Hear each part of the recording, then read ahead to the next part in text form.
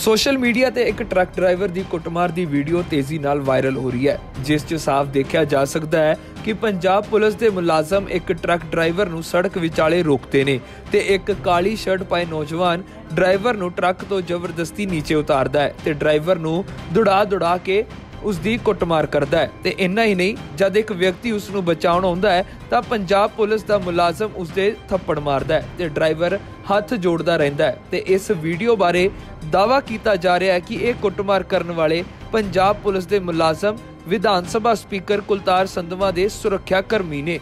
ਤੇ ਇਸ ਬਾਰੇ ਕਾਂਗਰਸੀ ਐਮਐਲਏ ਸੁਖਪਾਲ ਖਹਿਰਾ ਨੇ ਟਵੀਟ ਕਰ ਕੁਲਤਾਰ ਸੰਧਵਾ ਤੇ ਇਲਜ਼ਾਮ ਲਗਾਇਆ। ਉਹਨਾਂ ਕਿਹਾ ਕਿ ਸੰਧਵਾ ਦੇ ਕਾਫਲੇ ਨੂੰ ਰਸਤਾ ਨਾ ਦੇਣ ਤੇ ਡਰਾਈਵਰ ਨੂੰ ਕੁੱਟਿਆ ਗਿਆ। ਇਹ ਆਮ ਆਦਮੀ ਪਾਰਟੀ ਦੇ ਲੀਡਰ ਨੇ ਜਿਨ੍ਹਾਂ ਨੇ ਸਿਕਿਉਰਿਟੀ ਨਾ ਲੈਣ ਦੇ ਵਾਅਦੇ ਕੀਤੇ ਸੀ, ਪਰ ਹੁਣ ਲੋਕਾਂ ਨੂੰ ਛੋਟੀਆਂ-ਛੋਟੀਆਂ ਗੱਲਾਂ ਤੇ ਕੁੱਟ ਰਹੇ ਨੇ। ਹਾਲਾਂਕਿ ਇਸ ਵੀਡੀਓ 'ਚ ਗਲਤੀ ਕਿਸ ਦੀ ਹੈ, ਇਹ ਤਾਂ ਸਾਬਿਤ ਨਹੀਂ ਹੋ ਪਾਇਆ ਹੈ, ਪਰ ਖਬਰ ਲਿਖੇ ਜਾਣ ਤੱਕ ਆਮ ਆਦਮੀ ਪਾਰਟੀ ਦਾ ਇਸ ਤੇ ਕੋਈ ਸਪਸ਼ਟੀਕਰਨ ਨਹੀਂ ਆਇਆ ਹੈ। ਪਰ ਇਸ ਵੀਡੀਓ ਤੋਂ ਪਹਿਲਾਂ ਵੀ ਆਮ ਆਦਮੀ ਪਾਰਟੀ ਦੇ ਕਈ ਲੀਡਰਾਂ ਵੱਲੋਂ ਆਮ ਲੋਕਾਂ ਨਾਲ ਗੁੰਡਾਗਰਦੀ ਦੀਆਂ ਵੀਡੀਓ ਸਾਹਮਣੇ ਆ ਚੁੱਕੀਆਂ ਨੇ। ਤੁਹਾਡਾ ਕੀ ਕੁਝ ਕਹਿਣਾ ਇਸ ਵੀਡੀਓ ਨੂੰ ਦੇਖ ਕੇ? ਤੁਸੀਂ ਵੀ ਕਮੈਂਟ ਕਰਕੇ ਜਰੂਰ ਦੱਸੋ। ਅੰਮ੍ਰਿਤਸਰ ਤੋਂ ਅਮਿਤ ਸ਼ਰਮਾ ਦੀ ਰਿਪੋਰਟ।